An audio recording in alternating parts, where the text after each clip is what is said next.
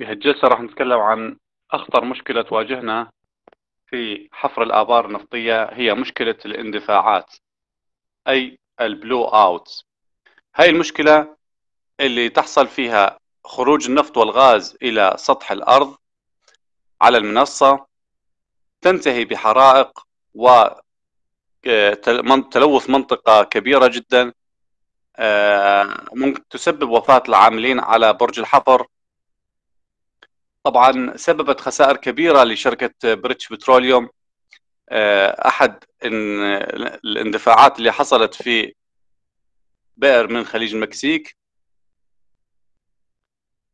راح نحلل هالمشكلة سبب حدوثها وكيف يمكن تلافيها. نعرف مصطلحين. أول مصطلح هو الكيك. والمقصود بالكيك هو دخول نفط أو غاز إلى داخل البئر. ولسه ما خرج إلى السطح فقط دخل إلى داخل البئر راح نسميه كيك. أما البلو أوت هو خروج النفط أو الغاز إلى سطح الأرض واندفاعه فهذا اسمه بلو أوت. فعادة ال blowout يبدأ على شكل kick.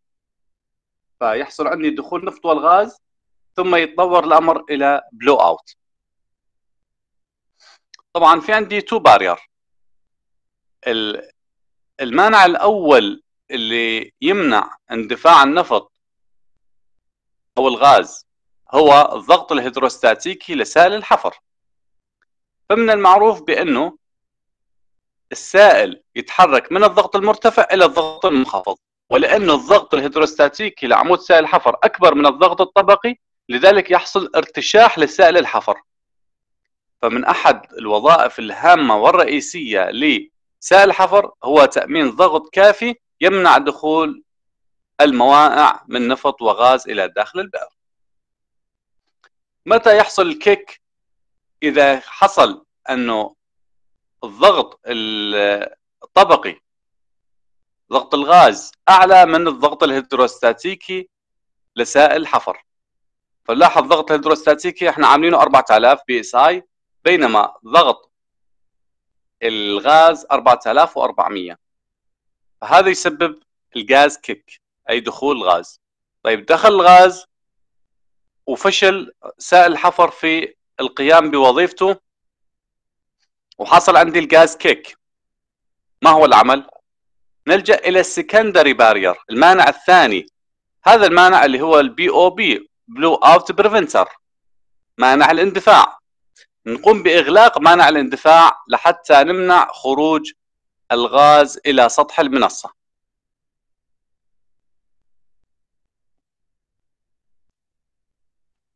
متى يحصل الاندفاع؟ يحصل الاندفاع إذا كان الضغط الموجود في الطبقات abnormal pressure هو ضغط غير طبيعي. فاحنا نعرف الضغط الطبيعي تدرجه 0.465 بي إس آي لكل واحد feet. وهذا التدرج اللي أخذناه من ال Gulf Coast لكن إذا صادفنا ضغوط abnormal pressure ضغوط مرتفعة هاي الضغوط المرتفعة هي اللي تسبب لي ال kick. ثم يتطور إلى ال blowout طبعا سبب ذلك هو إنه عادة نصمم سائل حفر ويكون الضغط آه، الهيدروستاتيكي لسائل الحفر مبني على كثافة. آه، هي الكثافة مبنية على أساس أن تدرج الضغط طبيعي. وفي حال لسبب ما كان تدرج الضغط غير طبيعي abnormal pressure يعني لدي ضغط محبوس في الطبقات ف الضغط الأبنورمال يحتاج إلى كثافة أكبر لسائل الحفر.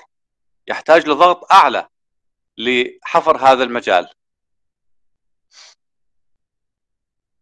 يحدث الاندفاع في حالتين. اولا أن يكون الضغط الطبقي أعلى من المتوقع. الحالة الثانية انخفض ضغط الناتج عن سائل الحفر. أصبح أقل من الضغط الطبقي. الضغط الطبقي أعلى من المتوقع. وهاي الحالات يكون فيها abnormal pressure أو high pressure ضغط مرتفع. وهي نصادفها في حالات طبقات ال shale وال shale طبقة كتيمة فيها porosity عالية.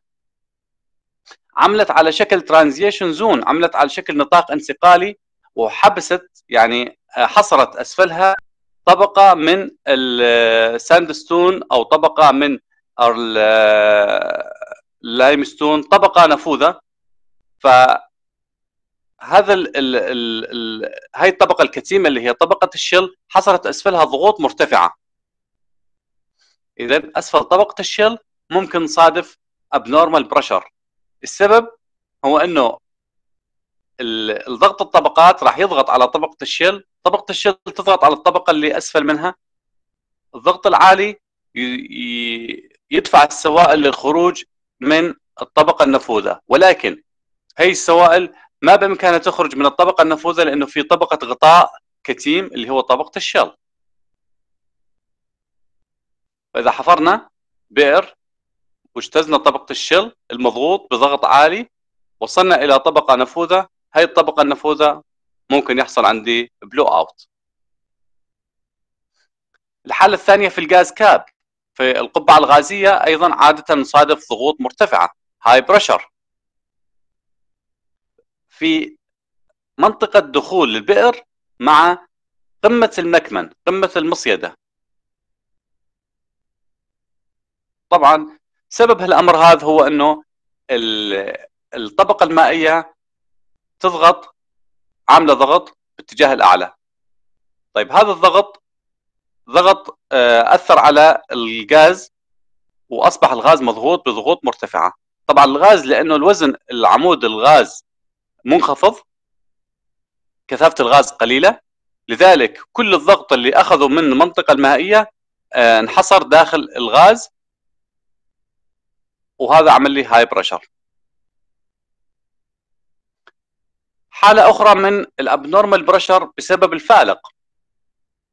فالفالق يعمل كسر للطبقات وإزاحة أحد الطبقات ممكن يرفعها للأعلى أو ينزلها للأسفل حسب نوع الفالق إذا كان فالق عادي فراح ينزل الطبقات للأسفل أما إذا كان فالق عكسي فراح يرفع الطبقات للأعلى.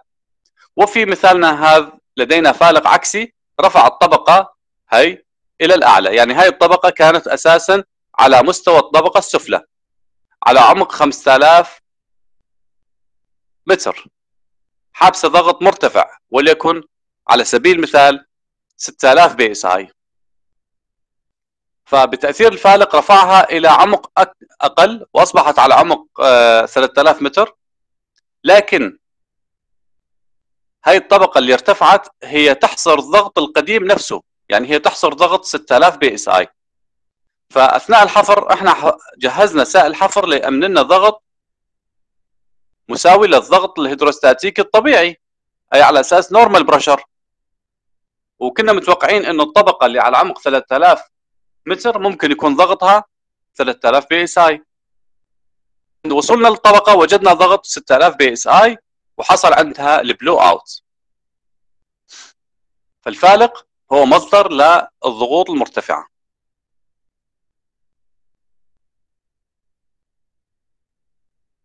حالة أخرى أثناء الإنتاج النفطي من أحد الآبار في عندنا كسر في ال casing أو ممكن يتحرك النفط في المجال الإسمنت خلف ال casing في الفراغ ما بين الإسمنت وال formation يتحرك النفط أو الغاز للأعلى يصل إلى طبقة نفوذيتها عالية على عمق قليل من سطح الأرض وليكن ألف متر.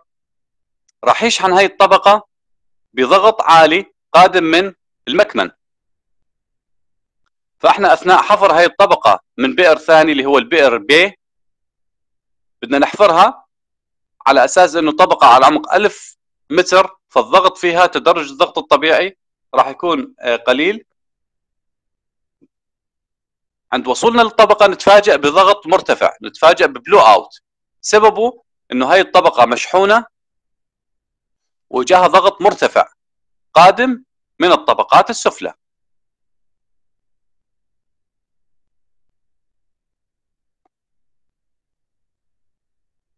شكل آخر لل abnormal pressure موجود في ال lens العدسات الرملية.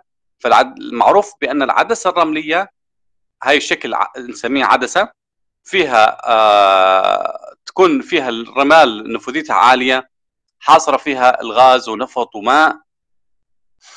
ومحاطة بطبقة shale من جميع الجهات. ومعروف بأنه ال shale impermeable عديم النفاذية. هذا impermeable shale باللون الأخضر عديم النفاذية. أما ال sand هو porous sand sand هو آه، آه، مسامية ونفوذية عالية. فعندما يتعرض طبقة ال shale لضغوط عالية من الطبقات الأعلى. في عندي وزن عمود طبقي. أثر على طبقة ال shale. طبقة ال shale أثرت بضغط على طبقة ال sand.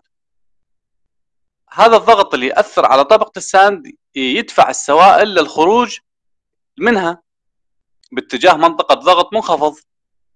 وهذا هو سبب الهجرة اللي عم تحصل migration ال primary وال secondary migration سببها هو وزن العمود الطبقي. ولكن لأنه طبقة ال shale محيطة بال sand من جميع الجهات فراح تحصر السوائل الموجودة وتمنعها من الخروج فبقيت السوائل من غاز أو نفط أو ماء محصورة داخل ال sand ومضغوطة بضغوط مرتفعة قادمة من وزن العمود الليتولوجي أي وزن الطبقات الموجودة اعلى طبقات ال shale. حالة أخرى ال abnormal pressure إذا حفرنا بئر في مستوى معين ووصلنا إلى طبقة نفوذيتها عالية ولكن هاي الطبقة كانت تتغذى من مياه المياه قادمة من منطقة ذات مستوي تضاريسي أعلى من المستوي اللي حفرنا به.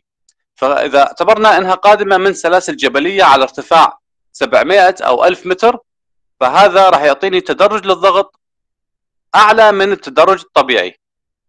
مقدار الفرق أو مقدار الزيادة في الضغط هو مقدار الفرق ما بين مستوى البئر ومستوى المصدر اللي هو البحيرة اللي تغذي هاي الطبقة النفوذة.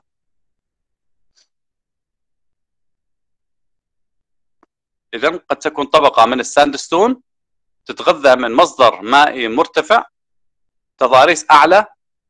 التضاريس هذا الفرق في التضاريس ما بين البحيرة ومستوي المنصة أعطاني تدرج ضغط مرتفع أعلى من التدرج الطبيعي. الحالة الثانية اللي يحصل فيها اندفاع سببها انخفاض الضغط الهيدروستاتيكي لعمود سائل الحفر. الضغط بالقانون هو المود ويت في ثابت في العمق TVD العمق العمودي. هذا قانون ضغط. ال pressure هو ال mud weight ضرب ثابت ضرب العمق TVD متى ينخفض الضغط؟ إذا انخفض ال mud weight أي إذا انخفض وزن سائل الحفر. وينخفض وزن سائل الحفر إذا دخل غاز إلى سائل الحفر وقلل ال weight قلل الكثافة أو الوزن. الحالة الثانية إذا انخفض العمود الهيدروستاتيكي لسائل الحفر. Reduce length of mud column وهذا يحصل إذا أثناء ال losses. عند ضياع سائل الحفر في الطبقات ينخفض المستوي سائل الحفر أثناء إخراج المواسير والأعمدة أي tool string من البئر ينخفض أيضا مستوي سائل الحفر أحد أخطر العمليات أثناء ال pull out of hole أي أثناء سحب ال tool string السحب عندما يكون بسرعة كبيرة ولأنه قطر رأس الحفر. وإذا كان عندنا أيضا mud cake كعكة حفر فهذا السحب السريع راح يعمل swabbing أي شفط وسحب السوائل نفط أو غاز من داخل الطبقة المنتجة باتجاه الأعلى. وأثناء حركة رأس الحفر وال tool string للأعلى راح يبدأ يتقدم الغاز بشكل تدريجي. وهاي المشكلة اللي هي ال swabbing تحصل أثناء عمليات الرفع. لذلك عمليات الرفع خطرة جدا ومن أكثر الحالات اللي نصادف فيها blowout إذا حركة رأس الحفر سحب للأعلى سحب كميات من الغاز عمل swabbing أو شفط بسبب وجود كعكة حفر والقطر الكبير لرأس الحفر اللي هو مساوي لقطر المجال اللي تم حفره. الغاز يتبع رأس الحفر وصولا إلى سطح المنصة. حالة أخرى يحصل فيها ال kick اللي هي ال mud weight reduction انخفاض كثافة سائل الحفر وسبب انخفاض كثافة سائل الحفر إذا حصل عندي آه، ممكن يحصل انخفاض لكثافة سائل الحفر أثناء عمليات التنظيف. فإحنا نعرف إنه ال cutting الموجودة في ال annulus تثقل سائل الحفر وعاملة نوع يسمى الكثافة المكافئة. فإذا توقفنا عن الحفر لسبب ما وتابعنا تشغيل المضخة والمضخة عملت circulation دوران. فهذا الدوران راح يرفع ال cutting كامل من البئر. هذا ال cutting اللي هي نواتج الحفر. الآن رفع ال cutting كامل من البئر اللي هي نواتج الحفر و... وصعدت إلى ال shale shaker بالحالة أصبح سائل حفر نظيف. وسائل حفر نظيف له كثافة منخفضة. إذا الكثافة الموجودة في ال annular هي اسمها الكثافة المكافئة. كانت تعمل لي ضغط هيدروستاتيكي مرتفع لسائل الحفر. أثناء تنظيف سائل الحفر أثناء رفع الكاتنج قلت عندي الكثافة قلت الكثافة المكافئة فزادت فرص حدوث الكيك.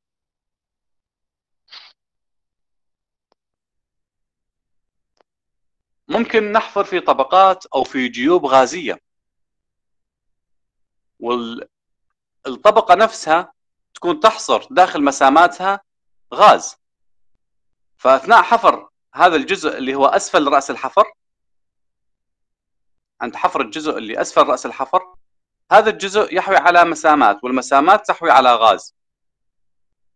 فهذا الغاز أثناء الحفر إحنا راح نحفر ال cutting نحفر الجزء الصخري ويصعد للأعلى وسائل الحفر يرفع ال cutting المجال الجزء الغازي الموجود داخل المسام أيضا راح يدخل مع سائل الحفر وهذا نسميه gas cut mud اذا gas cut mud هو غاز يدخل إلى سائل الحفر أثناء الحفر الطبيعي بسبب أن هذا الغاز موجود في مسامات الطبقة المحفورة في هذه اللحظة. صعد الغاز أصبح عندي سائل حفر مع غاز قادم من الطبقة المحفورة. هذا الغاز يقلل المد ويت يقلل كثافة سائل الحفر. قلت كثافة سائل الحفر ممكن تصبح أقل من الضغط الطبقي. يبدأ عندها دخول الغاز إلى داخل البئر.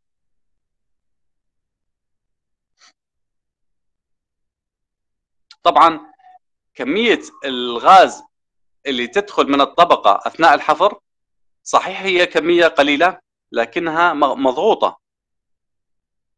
يعني تخضع لضغط. فهذا الغاز بحركته للأعلى مع سائل الحفر يبدأ يقل الضغط عنه فيبدأ يتمدد يأخذ حجم أكبر. يتمدد الغاز بشكل تدريجي وصولا إلى السطح. فنلاحظ على السطح إنه حجم الغاز يتعرض للانفلات الكبير يعني يحصل عندي زيادة كبيرة ومفاجئة في حجم الغاز وهذا يدفع سائل الحفر بشكل مفاجئ إلى خارج البئر. فأول ما يبدأ عندنا الاندفاع يبدأ على شكل خروج لسائل الحفر بشكل كبير لأنه هذا سائل الحفر كان أمام المجال الغازي. بعد ما يخرج سائل الحفر يبدأ الغاز هذا اللي باللون الأزرق بالخروج إلى سطح المنصة. ونعرف بأنه سطح المنصة فيه كثير من الأجهزة الكهربائية والميكانيكية وبالتالي أي شرارة راح يؤدي إلى اشتعال الغاز واشتعال المنصة. هذا مثال آخر لدخول غاز وصعوده مع سائل الحفر. الغاز migration الغاز يتحرك باتجاه السطح تكلمنا ال slides ات السابقة عن انخفاض ال mud weight أي ينخفض الضغط الهيدروستاتيكي لسائل الحفر بسبب انخفاض كثافة سائل الحفر ويحصل ذلك نتيجة لدخول الغاز. إما الغاز يدخل عن طريق ال swabbing السحب أثناء رفع المواسير بسرعة كبيرة أو يدخل الغاز بشكل طبيعي من الطبقة المحفورة. أو يد أو يحصل انخفاض في ال mud weight نتيجة لتنظيف سائل الحفر من ال cutting أي من الفتاتات اللي تم حفرها عن طريق ال circulation أي الدوران. وهاي الحالة تقلل الكثافة المكافئة اللي هي كثافة سائل الحفر في ال annulus طبعا هاي الكثافة والحسابات آه راح نجريها بشكل كامل في course آخر هو ال course ال well control نجري حسابات كاملة للكثافة المكافئة. السبب الثاني لانخفاض الضغط الهيدروستاتيكي لسائل الحفر هو انخفاض التي في دي انخفاض عمود سائل الحفر في البئر. هذا السبب الثاني. ويحصل انخفاض عمود سائل الحفر في البئر نتيجة للوسز أي lost circulation أي ضياع سائل الحفر في الطبقات. وتكلمنا هاي عن هالمشكلة في جلسات خاصة اللي هي جلسات اللوسز. حصل ضياع لسائل الحفر انخفض ارتفاع أو الضغط الهيدروستاتيكي للسائل بدأت عندي كميات من الغاز بالدخول إلى داخل البئر حالة أخرى أثناء ال pull out of hole يعني أثناء سحب المو... ال tool string وال tool string هي المواسير والأعمدة والمواسير المثقلة ورأس الحفر إذا سحبنا المواسير. إلى خارج البئر على سطح المنصة. المواسير في مكانها داخل البئر كانت اخذ حجم.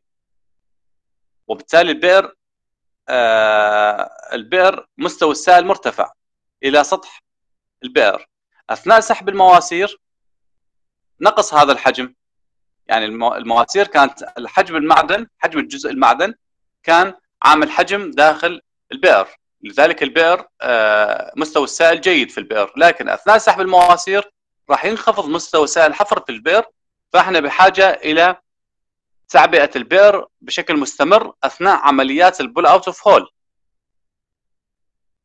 إذا أهمل الحفار موضوع تعبئه البئر أو آه طبعا عادة يعبي يعني كل ما يرفع عدد من الستاندات كل ما يرفع وليكن أربع أو خمس ستاندات يقوم بإضافة السائل فإذا أهمل الحفار هذا الموضوع نقص مستوى سائل الحفر في البئر إلى مستوى معين هذا يؤدي إلى انخفاض الضغط الهيدروستاتيكي لسائل الحفر وبالتالي يصبح أقل من الضغط الطبقي ويحصل عندي دخول للغاز أو النفط. هل ممكن أن يحصل الاندفاع أثناء إنزال ال casing؟ طبعا أثناء إنزال ال casing الطبقة مفتوحة والبئر مفتوح وممكن أن يحصل الاندفاع أثناء إنزال ال casing وهذا يعتبر من الحالات الخطرة. طيب. اذا أثناء إنزال الكيسنج أثناء رفع المواسير والأعمدة